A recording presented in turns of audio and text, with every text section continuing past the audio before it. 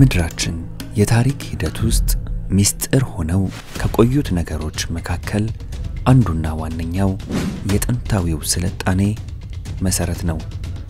የሰው ልጅ ጥንታዊ ስልጣኔ ምንጩ ከየት እንደሆነ እድገቱና አሁን እስካለንበት ዘመን ድረስ ስላለው ስርጭት መልስ ለማግኘትና መልስ ለመስጠት ባለፉት በርካታ ሺህ ዘመናት የተለያዩ ጥናቶች ተደርገዋል። ብዙ ቢሊዮን ዶላሮች የፈሰሱባቸው የአርኪኦሎጂ፣ የኤትኖሎጂ፣ የጂኦሎጂ፣ የፔሊዮአንትሮፖሎጂ ብሎም የፍልስፍና ጥናቶችም ተደርገዋል።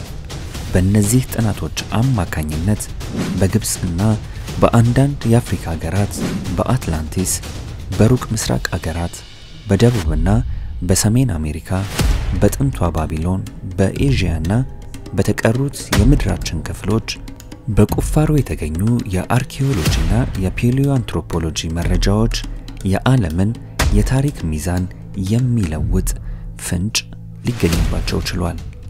እነኚህ ፍንጮች እንደሚያመላክቱት አገራችን ኢትዮጵያ ምድረ ቀደምት ነች። የሰው ዘር መነሻ፣ የስልጣኔዎች ሁሉ እናት ምድረ ቀደምት ኢትዮጵያ። ስነ መንግስት፣ ስነ ከዋክብት፣ የዘመን አቆጣጠር፣ ስነ ሕክምና፣ ግብርና፣ የጨርቃ ጨርቅ ስራዎች፣ የባህር ላይ ጉዞ፣ የስነ ህንፃ ግንባታ፣ ፍልስፍና፣ ኪነ ጥበብ በእነዚህ ሁሉ ዘርፎች ከተቀረው ዓለም ቀድማ ስልጣኔን የወለደች ምድረ ቀደምት ኢትዮጵያ።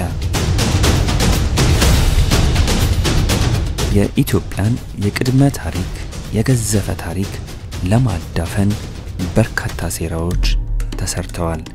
ዛሬ ግን ተጨባጭ የሆኑ የታሪክ ምንጮችንና መረጃዎችን መሰረት በማድረግ ያልታየውን እናያለን፣ ያልተነገረውን እንናገራለን፣ የተሸፈነውንም እንገልጣለን። እኛ ማንን?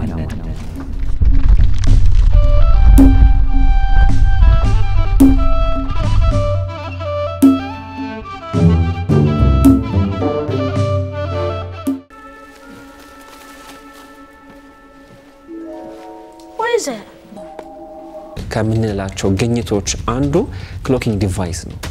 cloaking device ማለት አንድን አካል መሰወር የሚያስችል ቴክኖሎጂ ነው ወይም ሳይንስ ግኝት ነው። ስለዚህ ይሄን ግኝት ለረጅም ጊዜ አጥንተውት ነበረ። በመጀመሪያ ይህንን ሀሳብ ያሳዩን ምዕራባውያኑ ወይም እነ አሜሪካ በሆኑ ሌሎች ሀገራቶች በፊልሞቻቸው ውስጥ ነበረ። በፊልሞቻቸው ውስጥ የሚሰወሩ ከተሞች፣ የሚሰወሩ መኪናዎች፣ የሚሰወሩ ጀቶችን አይተናል። ከዛ በኋላ ግን በተግባር ይህን ነገር ሰርተውታል።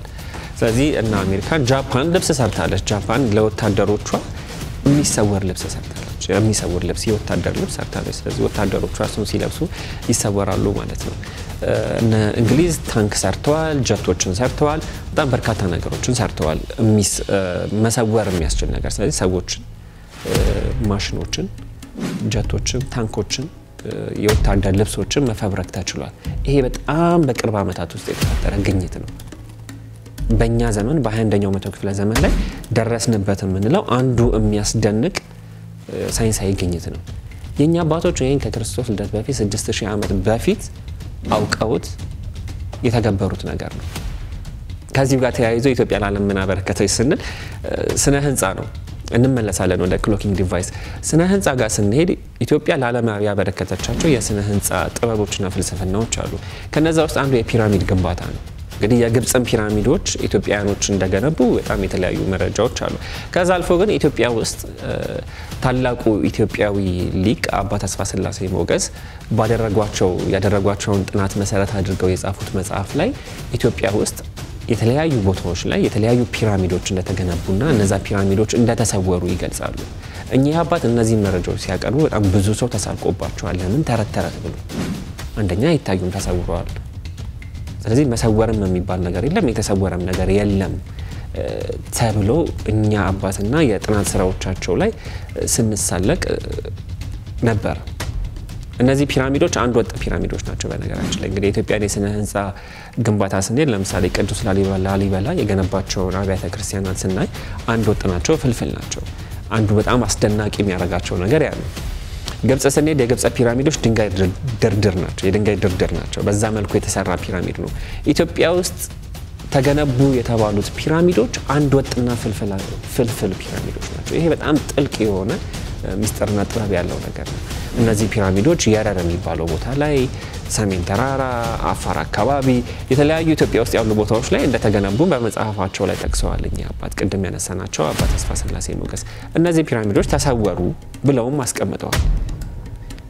ከዚሁ ጋር ተያይዞ ደግሞ እንግዲህ ቅድም ያነሳነው የ cloaking device ጥበብ አለ፣ የመሰወር ጥበብ አለ። ስለዚህ አባቶቻችን ከ6000 ዓመት በፊት የገነቡትን ፒራሚድ ዋሻዎችን፣ አብያተ ክርስቲያናቶችን ጠላት ሲመጣ ከጠላት ለመሰወር ገዳማቶችን ይሰውሩ ነበር።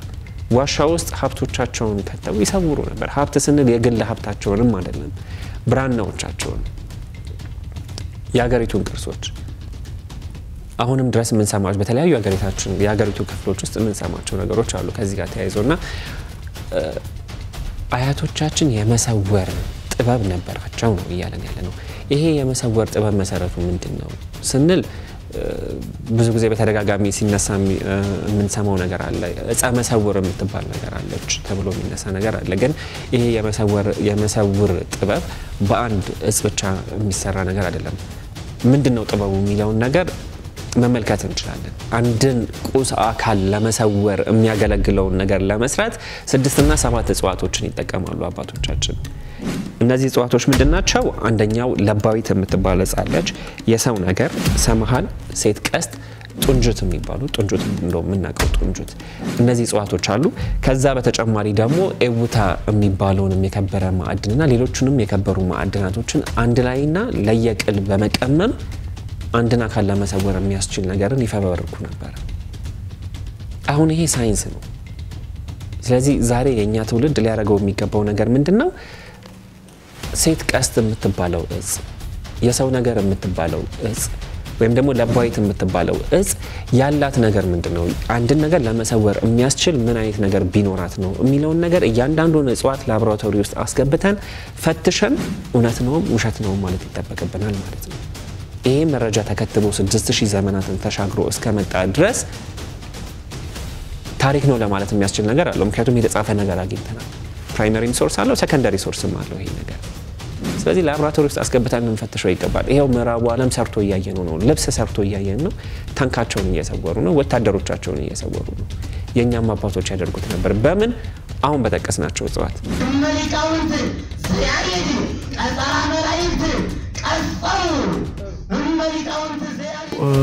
ሀገራችን ኢትዮጵያ ለዓለም ቅኔን አበርክታለች። በእርግጥ አዎ እናበርክታለች። ቅኔ ማለት ቀኔ ተቀኘ ማለት ሲሆን ቅኔ ማለት ቅኝት ማለት ነው የመጀመሪያ ትርጉሙ። ሁለተኛው ትርጉሙ ቀኔ ማለት ተገዛ ማለት ነው። በፍጹም አእምሮ በፍጹም ሕሊና ለሚከተሉት አምላክ መገዛት ማለት ነው። ምናልባት በአሁኑ ሰዓት ቅኔ ተብሎ የሚቀርብ ያሬዳዊ ያልሆነ ብቻ ቤት የሚመታ በስመ ቅኔ ቅኔ ተብሎ የሚሰየም ይኖር ይሆናል። በቤተ ክርስቲያናችን በኦርቶዶክስ ተዋሕዶ ሃይማኖት ውስጥ ያለው ቅኔ ግን በዓለሙ ከሚሰጠው ቅኔ የተለየ ቅኔ ነው። የራሱ የሆነ የቤት አመታት አለው። የራሱ የሆነ የቃላት ስነ ስርዓት አለው። ቁጥርም አለው። ከዛ ቁጥር ማለፍ አይችልም። ከዛ ቁጥር ማነስም አይችልም። ስለዚህ በቁጥር የተለካ ቃል የሚገባበትና የሚደረደርበት እለት እለት በአዲስ መልኩ ለእግዚአብሔር የሚቀርብ ጥሩ ጥሩ ያደረጉ ሰዎች የሚሞገሱበት የሚመሰገኑበት እንዲሁም ደግሞ የሚወቀሱም የሚገሰጹም ካሉ የሚገሰጹበት ልዩ የሆነ የሕሊና የልቡና የአእምሮ ውጤት ነው። የመጀመሪያውም የቅኔ ደራሲ ታላቁ ቅዱስ ያሬድ እንደሆነ ብዙ ሊቃውንት ይስማሙበታል። ከዚያ በመቀጠል ብዙ ሊቃውንት አስፋፍተውት ያስፋፉ ቢሆንም እንግዲህ በቤተ ክርስቲያናችን በኦርቶዶክስ ተዋሕዶ ሃይማኖት ውስጥ በአሁኑ ሰዓት በአሁኑ ጊዜ በዚህ ዘመን ብዙ የቅኔ መምህራን አሉ። ብዙ የቅኔ ደቀ መዛሙርትም አሉ። በዚሁም አጋጣሚ እንክብካቤ ሊደረግላቸው የሚገባና ብዙ አስተዋጽኦን በማድረግ ላይ የሚገኙ የፍልስፍና ምንጮች ናቸው። እነኚህ የቅኔ መምህራን እና የቅኔ ደቀ መዛሙርት ለብዙ እውቀት መነሻ እና ለብዙ እውቀትን መድረሻ ቅኔ እንደመሆኑ መጠን ብዙ አስተዋጽኦዎችን ሲሰሩ መጥተዋል። የቅኔ መምህራን አሁንም በመስራት ላይ ይገኛሉ። በቤተ ክርስቲያናችን 18 የቅኔ አይነቶች አሉ። እነሱም አንደኛው ግዕዝ ጉባኤ ቃና ይባላል። ሁለተኛው እዝል ጉባኤ ቃና ይባላል። ሶስተኛ ዘአምላኬ፣ አራተኛ ሚበዝኁ፣ አምስተኛ አብይ ዋዜማ፣ ስድስተኛ ደግሞ ንዑስ ዋይ ዜማ ወይም ሐፂር ዋይ ዜማ፣ አጭር ዋይ ዜማ፣ ሰባተኛ ስላሴ፣ ስምንተኛ አብይ ዘይዜ ወይም ዘይዜ ዘጠነኛ ሳህለከ ወይም ንዑስ ዘይዜ አስረኛ መወድስ አስራ አንደኛ ደግሞ ኩልክሙ መወድስ እና ደግሞ አስራ አንደኛ ንዑስ መወድስ የሚባል እንዲሁም ደግሞ አስራ ሶስተኛ ግዕዝ ክብርኢቲ አስራ አራተኛ ግዕዝ ዕጣነ ሞገር እንዲሁም እዝል ክብርኢቲ አስራ ስድስተኛ እዝል ዕጣነ ሞገር አስራ ሰባተኛ ሐዋርያቱ ከበበ አስራ ስምንተኛ ህንጽያ የሚባሉ የቅኔ አይነቶች አሉ። እነኚህ የየራሳቸው የሆነ ቤት አላቸው። ለምሳሌ ግዕዝ ጉባኤ ቃና ሁለት ቤት አለው። እዝል ጉባኤ ቃናም ሁለት ቤት አለው። ዘአምላኬ ሶስት ቤት አለው። የሚበዙ ደግሞ ሶስት ቤት አለው። አብይ ዋይ አምስት ቤት አለው። ንዑስ ዋይ ወይም አጭር ዋዜማ፣ ሐፂር ዋዜማ የሚባለው ሁለት ቤት አለው። ሥላሴ ስድስት ቤት አለው። ዘይእዜ አምስት ቤት አለው። እንዲሁ ሣህልከ ደግሞ ሶስት ቤት አለው። መወድስ ስምንት ቤት አለው። ኩልክሙ መወድስ ዘጠኝ ቤት አለው። ንዑስ መወድስ ሁለት ቤት አለው። ግዕዝ ክብርኢቲ አራት ቤት አለው። ግዕዝ ዕጣነ ሞገር ደግሞ ሰባት ቤት አለው። እንዲሁም ደግሞ እዝል ጉባኤ ቃና እዝል ክብርኢቲ አራት ቤት አለው። እዝል ዕጣነ ሞገር 11 ቤት አለው። ሐዋርያቱ ከበበ ሶስት ቤት አለው። ህንጽያ ሁለት ቤት አለው።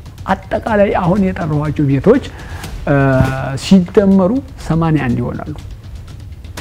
81 የመሆናቸው ምስጢር የሰማንያ አንዱ መጻሕፍት ምሳሌ ይሄ የሆነው ከዛሬ 1500 እና 600 ዓመት በፊት በቅዱስ ያሬድ ዘመን በኋላ ላይ ደግሞ ታላቅ ሊቃውንት የበለጠ አስፋፍተውታል። እንግዲህ ሊቃውንተ ቤተ ክርስቲያን ይሄን ቅኔን ሲቀኙ ከመቀኘታቸው በተጨማሪ ለእያንዳንዳቸው የቅኔ አይነቶች ስያሜ ከመሰየማቸው ጀምሮ እስከ ቤት አመታት እስከ ቤት አገጣጠም እስከ አረፍተ ነገር አደራደር ያለው ምሳሌ ተጠንቶ የማይዘለቅ እና ግሩም የሆነ ቅዱሳት መጻሕፍትን ምስጢር የያዘ በውስጡ ይሄን እምቅ ምስጢር ያካተተ ነው። የሚገርመው ነገር ቅኔዎቹ 18 አይነቶች ናቸው። ቅኔውን የሚያስበው አካል ደግሞ ወይም ቅኔውን የሚቀኘው አካል ሰው መሆኑ ይታወቃል። አዲስ ቅኔ እቀኝልሃለሁ እንዳለው መዝሙረኛው ዳዊት። ስለዚህ ይህን አዲስ ቅኔ እነኝህን 18ቱ የቅኔ አይነቶችን የሚቀኝ ሰው ከአራቱ የስጋ ባህሪያት መፈጠሩ ይታወቃል።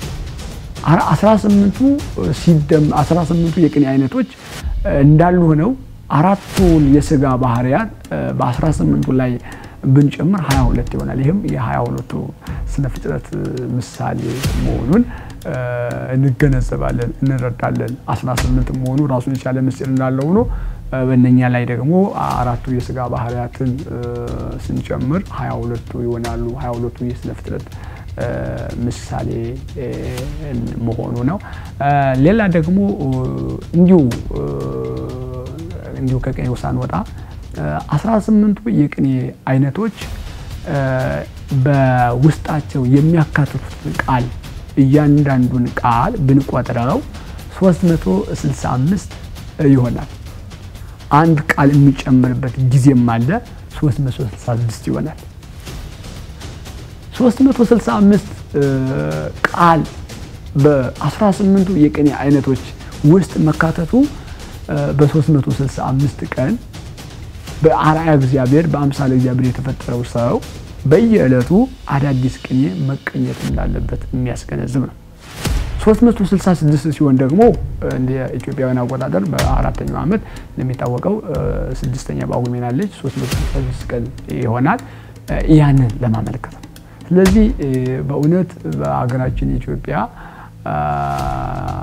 በቅኔ ትምህርት ቤት የሚሰጠው ትምህርት ከግጥሙና ከምስጢሩ አልፎ የቃላቱ እና የአረፍተ ነገሩ አቀማመጥ ራሱ ምስጢር ያለው እና ሀገራችን ኢትዮጵያ ይህንን ቅኔ ለዓለማችን በአግባቡ ማበርከት ባለባት እያበረከተች እንዳልሆነ ግልጽ ነው። ሀገራችን ያሉ ሊቃውንት ቅኔውን በሰፊው ይማሩታል፣ ያስተምሩታል።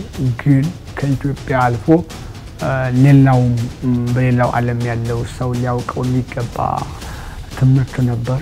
ግን የኛም በአግባቡ ለዓለም ያህል አላስተዋወቅ ነው። ብናስተዋውቀው ግን ከሃይማኖታዊ ይዘቱ በተጨማሪ ፍልስፍናን የሚያዳብርና በውስጡ እምቅ ምስጢርን የያዘ የብዙ ምስጢራት የብዙ ፍልስፍናዎች መነሻ ነው ስለ ካላንደሮች ብናይ ካላንደር በመጀመሪያ ደረጃ ዓላማ ምንድን ነው? የሰው ልጅ ቀን ወደ ቀን በሚኖረው እንቅስቃሴ እንዲጠቅመው ተደርጎ የተዘጋጀ ነው። ከዛ ውጭ ደግሞ አንዳንድ ትላልቅ በዓላትንና ታሪክን ለማስታወሳነት እንዲሆነን ተብሎ ነው የ calendar ጥቅሙ ማለት ነው። so calendar እንዴት ተቀመረ ብትለኝ በኢትዮጵያ ስናየው ቅድም የጠቀስኩልህ እነ አቡሻህር፣ መርሐ ዕውር፣ ባህረ ሀሳብ መጽሐፍቶች አሉ በደንብ የሚያስረዱን ምንድነው የተጠቀሙት ፀሐይንና ጨረቃ እንዲሁም የመሬትን እንቅስቃሴያቸውን እርስ በርስ ያላቸውን መስተጋብር እሱ ላይ በመመስረት የራሱን ቀመር ቀምረው ነው። በዓለም ደረጃ ስናይ በጣም ብዙ አይነት calendar ኦች አሉ። ሁሉም እንደየሀገር ባህላቸው እንደ ታሪካቸው የራሳቸው calendar ኦች አሉ። ለምሳሌ ቻይናን ብንሄድ Asian ኦች፣ አሁን ደግሞ ዓለማችን በስፋት የሚጠቀምበት European calendar አለ። ወደ እኛ ሀገር ስንመጣ ደግሞ የኢትዮጵያ national የሆነ calendar አለን። national calendar ኣችን ያው ቅድም የጠቀስኩልህ መጽሐፍቶች ላይ በደንብ ቀመሩ በስፋት ይታያል። አንድ ዓመት የምንለው በጨረቃና በፀሐይ ልዩነቱ እንዴት አንድ ዓመት ሊሆን ቻለ? አንድ ዓመት የምንለው ምን ላይ ተመስርተን ነው ስንል መሬትና ጨረቃ በፀሐይ ዙሪያ ያላቸውን እንቅስቃሴ ላይ ተመስርቶ ነው።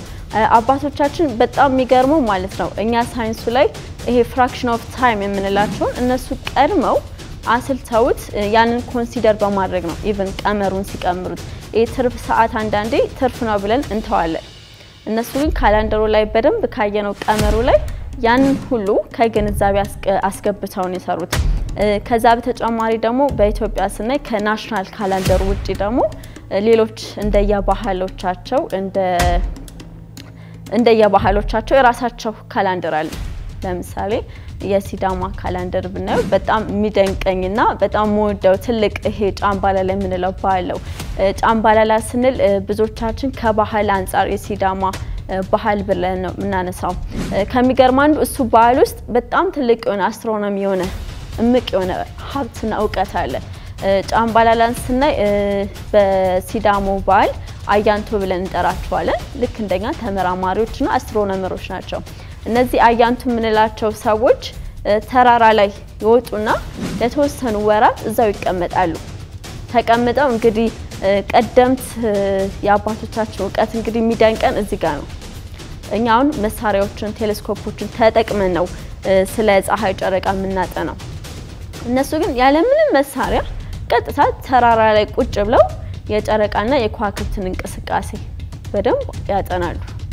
so ያንን እንቅስቃሴ አጥንተው next year ወይም አዲስ ዓመታችን መቼ መሆን አለበት፣ ይሄ አሁን የሚመጣው ዓመትስ ለህብረተሰቡ ምን አይነት ፋይዳ አለው፣ ከሰላም አንጻር፣ ከራብ አንጻር፣ ከጦርነት አንጻር ይህ ለሰው ልጅ የሚያስፈልጉ መሰረታዊ ነገሮችን predict ያደርጋሉ፣ ቀድመው ይናገራሉ። እና እንደውም በጣም የሚገርመው ይህ ዓመት የሰላም ዓመት ነው ዓመት እንደዚህ አይነት ነገሮች ይከሰታሉ፣ ህብረተሰቡ ቀድሞ መጠንቀቅ አለበት የሚለውን like በሳይንሱ astrology እንለዋለን። astrology የሰው ልጅና የሰማይ አካላት ያለው ትስስር የሚያጠናበት part ነው። so ይህንን ቀድመው ያውቃሉ። so ስለ ስነ ፈለግ ለዛ ነው ኢትዮጵያ ቀደምት የ space እምቅ ሀብት አላት የምንለው። ከዛ በተጨማሪ ደግሞ ወደ ቦረና ስንሄድ የቦረና ህዝብም የራሱ calendar አለው። calendar ኡም በጣም የሚደንቀው የጨረቃና የመሬት እንቅስቃሴ በፀሐይ ዙሪያ ተመስርቶ ነው የተሰራው። እንደውም በእነሱ አባባል አንድ ሳምንት አምስት ቀናቶች ናቸው ያሉት። ያንን ደግሞ የራሱ astronomical የሆነ point of view አላቸው እነሱ ያስቀመጡት ማለት ነው። ወደ ሙርሲ ብንሄድ እነሱም የራሳቸው calendar አላቸው እና ትንሽ ወደ cultural ወይም ቀደምት ኢትዮጵያን የስነ ፈለግ ጥናት ላይ እንደውም ዋናው የጥናታችን point ስለ calendar ነው። ዓለማችን ውስጥ በጣም ብዙ አይነት calendar ኦች አሉ። so ትክክለኛው calendar የትኛው ነው የሚለው ጥያቄ ይነሳል እና ታሪክን ማወቅ ይጠቅማል ያልኩት ቅድም ለዛ ነው። ወደ ኋላ ሄደን ስንመለስ ብዙ ቆፍረን ማውጣት አለብን። የ space እምቅ የሆኑ ሀብቶች አሉ፣ መረጃዎችም አሉ። ምናልባት እውቀት ቆፍረን አውጥተን ትክክለኛነቱን ለዓለም ካሳየን ማን ያውቃል ወደፊት እኮ የኢትዮጵያ calendar ለዓለም ሕዝብ ትክክለኛው calendar ነው ብለው ወጥቶ ሁሉም ዓለማት ሊጠቀሙበት ይችላሉ። መረጃ ላይ ተመስርተን ማንነታችን አውቀን በቴክኖሎጂ ተደግፈን እኛነታችንን ካወጣን የኢትዮጵያ calendar ትክክለኛው calendar ነው የሚለውም አንድምታ ልናመጣ እንችላለን ማለት ነው። so በ space science ውስጥ አንድም እየሰራን ያለ ነው ትክክለኛው calendar የማን ነው? ይህንን ለማወቅ ደግሞ እያንዳንዱ መረጃዎችን ወደ ኋላ ተመልሰን እየሰበሰብን ይገኛል። በጣም ከሚያስደንቁ ሀብቶቻችን መካከል አንዱ ለባዊት ከምትባለው እጽዋት ጋር የተያያዘ ሀብታችን ነው። በጣም አስደናቂ እጽ ነች። ስለዚች እጽዋት ከማንሳታችን በፊት ግን አንድ ሌላ መረጃ ለተመልካቾቻችን ማስተላለፍ አለብን ብዬ አስባለሁ። ይሄ ምንድን ነው? ከ800 እና ከ900 ዓመት በፊት አውሮፓ ላይ አንድ መጽሐፍ ተገኘ። ጣሊያን ውስጥ ይመስለኛል የተገኘው። ቮይኒች የሚባል መጽሐፍ ተገኘ። ነጋዴ ነው፣ ያ ግለሰብ ነጋዴ ነው። ይህንን መጽሐፍ ያገኘዋል። መጽሐፉ ዓለም ላይ ከተገኙ እጅግ ሚስጥራዊ ከሚባሉ መጽሐፎች መካከል አንዱ ነው። መጽሐፉ የተጻፈበት ቋንቋ አይታወቅም። ላለፉት 700 እና 800 ዓመታት ይሄ መጽሐፍ የተለያዩ የታሪክ ሊቃውንት ጋር ሚስጥራዊ ቋንቋን የሚፈቱ ሊቃውንቶች ጋር የትምህርት ተቋማት ጋር እንግዲህ ሲዞር ሲዞር ሲዞር ሲዞር ቆይቶ ነበር ሚስጥሩን ለመፍታት ሚስጥር ለመፍታት የመጽሐፉን ሚስጥር ለመፍታት ማለት ነው። እና መጨረሻ ላይ ይሄ መጽሐፍ ያረፈው የት ነው? የእንግሊዝ ቤተ መንግስት ውስጥ ነበር ያረፈው። እንግሊዝ ቤተ መንግስት ሆኖ ጆን ዲ የሚባለው ጆን ዲ የሚባለው ሰው እንግዲህ የአውሮፓን ታሪክ የመሰረተ ሰው ነው ማለት እንችላለን። ይሄ ሰው የአውሮፓን ታሪክ ሲመሰርት ከኢትዮጵያ በሄዱለት መጽሐፎች እንደሆነም ተጨባጭ የሆኑ መረጃዎች አሉ። ይሄ መጽሐፍን ያገኛል፣ ቮይኒች የሚባለው መጽሐፍ ያገኛል። እንግዲህ በጣም ብዙ ጥንታዊ መጽሐፍቶችን የተረጎመ ሚስጥራቶችን የፈታ ሚስጥራቶችን ያብራራ የሚባል ሰው ነው ጆን ዲ። ጆን ዲ ግን ይህንን መጽሐፍ መፍታት አልቻለም። ስለዚህ ከሱም አልፎ አሁን ያለንበት የኛ ዘመን ላይ ደረሰና መጽሐፉ የት ነው ያለው? የል ዩኒቨርሲቲ ውስጥ ነው ያለው። የል ዩኒቨርሲቲ ዓለም ላይ አሉ የተባሉ ሚስጥራዊ ቋንቋዎችን የሚያውቁና የሚፈቱ ሰዎችን አሰባስቦ ለረጅም ጊዜ እዚህ መጽሐፍ ላይ ጥናት ሲያደርግ ነበረ። መጨረሻ ላይ የመጽሐፉ ሚስጥር ተፈታ። ሙሉ አይደለም እንደውም የተፈታው፣ የተወሰነው የመጽሐፉ ክፍል ሚስጥሩ ተፈታ። መጽሐፉ ትኩረት የሚያደርገው ሕክምና ላይ ነው። ሕክምና ላይ ትኩረት ያደርጋል። ስነ ህዋ ላይ ትኩረት ያደርጋል እና ደግሞ የትንቢት ክፍሎችም አሉት መጽሐፉ። የፈቱትና የተወሰነ ቋንቋውን መረዳት የቻሉት ከሕክምናው ጋር የተያያዘው ነው። ስለዚህ መጽሐፉ ላይ ዓለም ላይ ሚስጥራዊ ስለሚባሉ እና በጣም ብዙ ኃይል ስላላቸው ሚስጥራዊ ኃይልና ጥበብ ስላላቸው እጽዋቶች ነው የሚያወራው መጽሐፉ። ስለዚህ የመጽሐፎቹ ስዕል አለ፣ መጽሐፉ ላይ ማብራሪያው አለ። እዛ ከተጠቀሱት ሌላ ዓለም ላይ የሌሉ እና በጣም ድንቅ የሆኑ ብዙ ሚስጥራቶችን ያላቸው እጽዋቶች ኢትዮጵያ ውስጥ እንደሚገኙ ግን መጽሐፉ ይናገራል። ይህንን ነው የል ዩኒቨርሲቲ የደረሰው። ይሄ በጣም በተለያዩ መገናኛ ብዙኃን ተዘግቧል። በተለይ ፎክስ ዘግቦታል። ስለዚህ ይሄ መጽሐፍ ያስረዳው ነገር ምንድን ነው? እንግዲህ ዓለም ላይ ሚስጥር የተባለው መጽሐፍ ኢትዮጵያ ውስጥ ሚስጥራዊ እና ከፍተኛ ኃይል ያላቸው እጽዋቶች እንዳሉ ነግሮናል። ስለዚህ ለቧይት የምትባለው እጽ ቅድም ያነሳናት እጸ ለቧይት የምትባለው እጽ ከዚህ ጋር አያይዘን የምናነሳት እጽዋት ነች። እጽዋቷ ስር አላት። ስሯ የወንድና የሴት አካል አላት። ስለዚህ ስር ውስጥ ሁለት ወንድና ሴት የሆኑ ስሮች አንድ ላይ ተያይዘው ነው ያሉት። ወንድና ሴት ስንል በምስሉ ላይ ተመልካቾች እንደሚመለከቱት ሴቷ የሴት ተክለ ሰውነት አላት፣ ወንዱ የወንድ ተክለ ሰውነት አለው። በጣም በሚያስደንቅ ሁኔታ በጣም በሚያስደንቅ ሁኔታ የእጽዋቷን ባህሪ የተከታተሉ ሊቃውንቶች እንደሚናገሩትም ሴቷ ሴቷ እጸ ለባዊት ወር እየጠበቀች ሁሉ ወር እየጠበቀች ፔሬድ የምታይበት ሁሉ ነገር አለ ብለው ያስተምራሉ። እጽዋቷን የተመለከቱ ሰዎች ማለት ነው። ይቺ እጽ 365 አይነት አገልግሎት አላት። 365 አይነት ማለት ነው። አባቶቻችን የዚችን እጽዋት ባህሪ አጥንተው ዘመናዊ ላቦራቶሪ በሌለበት ሁኔታ ውስጥ የዚችን እጽዋት ባህሪ አገልግሎት አጥንተው ለ365 አይነት አገልግሎት ትውላለች ብለው አስቀምጠዋል። ከነዛ ውስጥ መካከል አንዱ ቅድም ያነሳ ነው የመሰውር ጥበብ ነው ማለት ነው። እዚህ ጋር ሌላው ማንሳት ያለብን ነገር ሆሊውድ እርግጠኛ ነኝ ብዙ ሰው ይሄንን ሲሰማ ተረት ሊመስለው ይችላል። ለምዕራባውያን ግን ይሄ ተረት አይደለም። ይሄንን መረጃ ወስደው ሳይንስ አድርገው እንደተጠቀሙበት እናውቃለን። መጀመሪያ ፊልም ይሰራሉ። ስለዚህ መፍጠር የሚፈልጉትን ንቃተ ህሊና በሆሊውድ ይፈጥራሉ። ለራሳቸውም ትውልድ ለሌላውም የዓለም ክፍል ማለት ነው። ከዛ ላቦራቶሪ ውስጥ አስገብተው አጥንተው ተግባራዊ ነገር ሰርተውበታል። ስለዚህ አሁን እጸ ለባዊትን ያነሳነው ከመሰውር ጋር አያይዘን ነው። ሃሪ ፖተር ፊልምን እንመልከትና ጄኬ ሮሊንግ የምትባለውን ደራሲ እቺ ጄኬ ሮሊንግ የመሰውርን ጥበብ ሃሪ ፖተር ፊልም ላይ ያሳይተናለች ልብሱ። ከዛ ባለፈ ደግሞ እቺ ራሷን እጽዋት ሃሪ ፖተር and the Chamber of Secret የሚል ፊልም ላይ ራሷ እጽዋቷን ተጠቅማ አሳይተናለች። እንደዚ አይነት ባህሪ ያላት እጽዋትን ማለት ነው። በሚገርምና በሚደንቅ ሁኔታ ፊልሙ ካለቀ በኋላ የመጽሐፉም ክፍሎች ካለቁ በኋላ ብሪቲሽ ሙዚየም ውስጥ እቺ ደራሲና የፊልሙ አዘጋጆች ኤግዚቢሽን በከፈቱበት ሰዓት ላይ የሃሪ ፖተር ፊልሞችን ወይም ደግሞ ድርሰቶችን ስትደርስ እንደ አንድ ምንጭ የተጠቀመችባቸው ደግሞ የኢትዮጵያን የብራና መጽሐፍቶች ነው። አሁንም ድረስ ብሪቲሽ ሙዚየም ውስጥ ኤግዚቢሽኑ ክፍት ይመስለኛል። ካልሆነም ግን ከእሱ ጋር ተያይዞ የተሰራው ዶክመንተሪ አለ። አሁንም በምስሉ ላይ ወይም ደግሞ በስክሪኑ ላይ እንደምንመለከተው ጥንታዊ የሆኑ የኢትዮጵያን የብራና መጽሐፍቶች መሰረት ተደርጎ የተሰራ ፊልም ነው ሃሪ ፖተር ፊልም፣ ሌሎቹም ፊልሞች ይህን ያነሳ ነው እንግዲህ ከእጸ ጋር አያይዘን ነው ማለት ነው።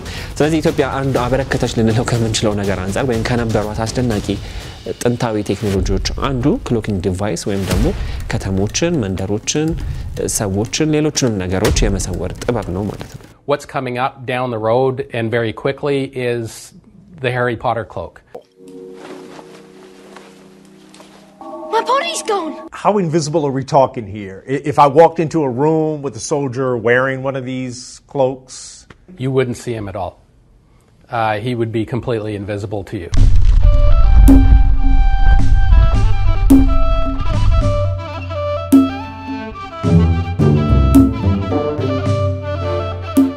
ሙሴ ባህረ ኤርትራን ሲከፍል ባህሩን የመታበት እጽ ነው በትረ ሙሴ እየተባለ የሚጠራው። እሱ እንደውም ኢትዮጵያ ውስጥ ብቻ እንደሚበቅልም ይነገራል። ለዚህ ምስር ማድረጃው ባይኖረኝም ግን በአንደበት ደረጃ ግን በትረ ሙሴ የሚባለው እጽዋት ኢትዮጵያ ውስጥ ብቻ እንደሚበቅል ይነገራል። ስለዚህ bullet proof ለመስራት ከሚጠቀሙባቸው እጽዋቶችም አንዱ በትረሙሴ ነው። ሌሎቹ ሴት ቀስትና ቅድም ያነሳናት ለባዊት bullet proof የሆኑ መሳሪያዎችን ለመስራት አባቶቻችን አያቶቻችን የሚጠቀሙባቸው እጽዋቶች ናቸው ማለት ነው።